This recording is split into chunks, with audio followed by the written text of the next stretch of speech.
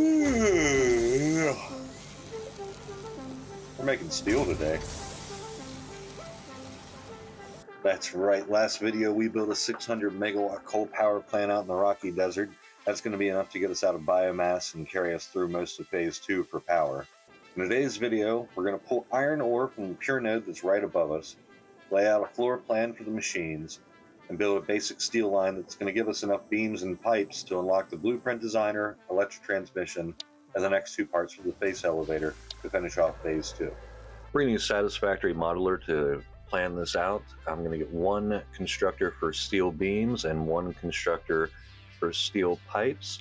Uh, that's going to need 90 steel ingots coming in uh, to make 20 pipes and 15 beams. So that's going to require two foundries working with 90 of each coal and iron ore, which is going to be fine because we're going to be bringing in 120 each.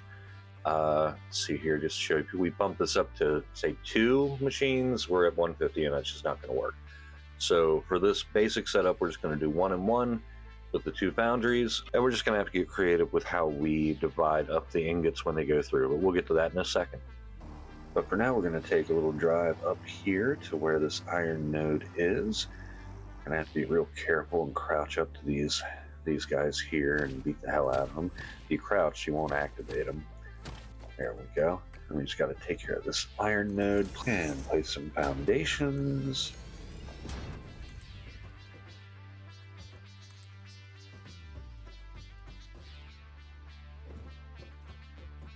And get our power hooked up here, connected to the coal generator. And then run our conveyor belt out to the edge here. We're going to hop on down and get ready to place this lift. You want to make sure to place down a conveyor pole nearby just so you can line them up easy. Little tip for you. So we're going to use a conveyor uh, lift to connect this coal miner up like to keep my belts off the floor whenever I can. We're also going to need to merge the two coal mines together since they're only putting out 60. Uh, we need 100, well, we need 90, but uh, 120 will do it. So just need to lift that up to the level there and then finish up our connections with the iron and coal. Then we'll be all set.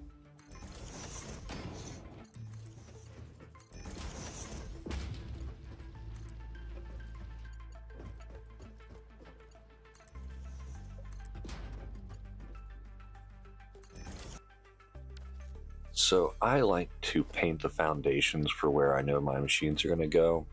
Uh, the foundries are going to take up two uh, foundations long, and the construction constructors just can take up one foundation square.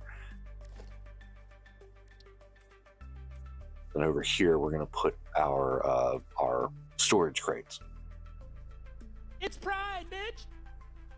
Okay, so we'll just set these found these foundries here, and once I have them down, we're gonna set a uh, uh, conveyor pole there because we're gonna need it to put the lifts. Uh, we need those there to make short lifts, and then we will connect them all together with these splitters fed into one, and then we'll put a splitter on the top level, and we'll have coal going into one line and iron ore going into the other.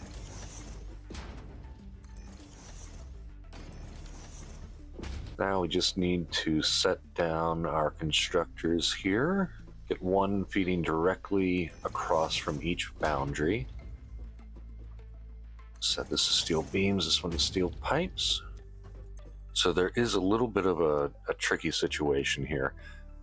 So each foundry is producing 45 steel ingots per minute, giving us a total of 90 ingots altogether, which we're going to merge into one single output.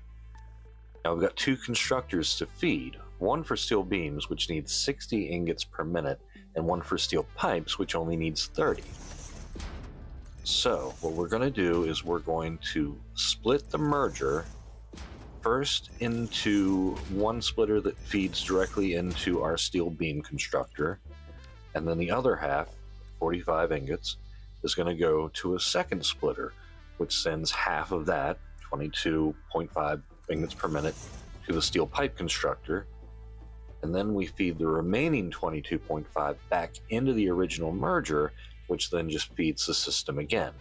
And that loop will keep the flow balanced. So as long as both constructors are running, the system is going to self-regulate to supply 60 ingots to beams and 30 ingots to pipes.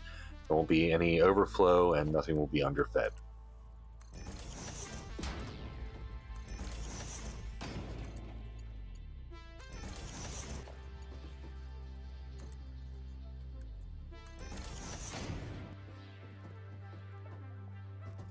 Now we just need to lay down our storage containers here. One there and one there. We'll just connect up our belts. And once we have that, we are going to go up to our tower and get everything ready. So yeah, well now we just need to connect the belts and it will begin rolling through with our coal and iron to make the ingots.